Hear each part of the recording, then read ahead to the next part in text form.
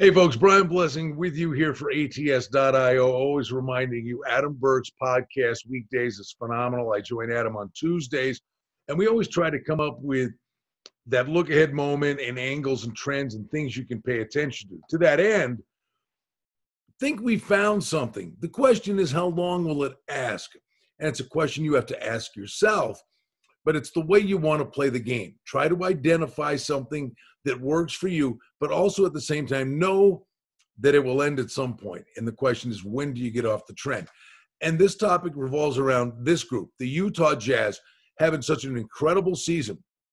And the analogy would be a bunch of years ago, we determined teams that played Pittsburgh in the NFL got beat up so badly that the following week, those teams that had played Pittsburgh, you fade them the following week. They had nothing left in the tank, and it worked. And then about two years after that run, Seattle in their prime, the Seahawks were doing the same things to teams. Well, Utah had this ridiculous winning streak. They're having an incredible season this year. So about 10 days ago, we're sitting going, hey, wait a minute. If Utah is stepping on everybody's neck, might the opponent that loses to them in their next game, would it be a breath of fresh air? And maybe we find an angle. It was a topic we brought up.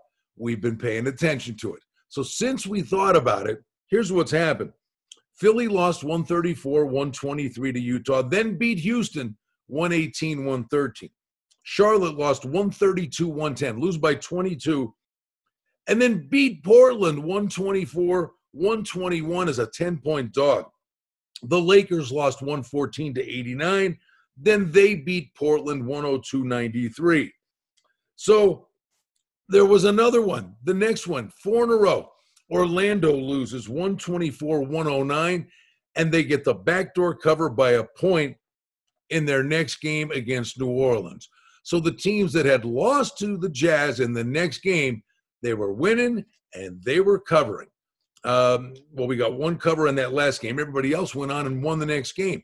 Now, there's a new one. New Orleans actually beat the Jazz.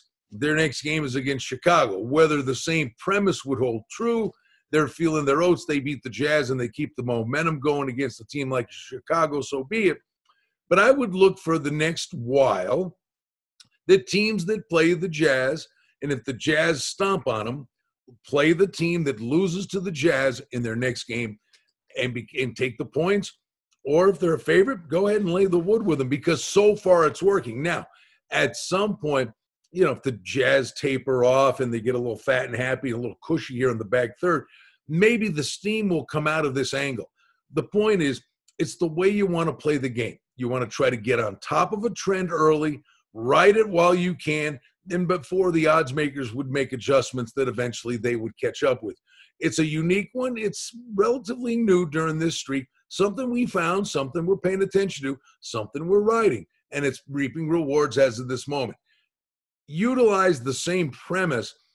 I don't know if it's outside the box thinking, but utilize that same premise. If you spot a team uh, and you spot an opportunity where, boy, a team's playing really good, and the next game, a team maybe was embarrassed by a team, say, but the next game should be a cupcake for them.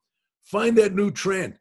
Pay attention for stuff like this and get on board and find your own trend, something that'll work for you early and it has some legs. Let's see if it keeps going playing those teams that lose to the Jazz in their next outing. Fun to be with you. Always trying to read between the lines for you right here at ats.io. I'm Brian Blessing in Las Vegas.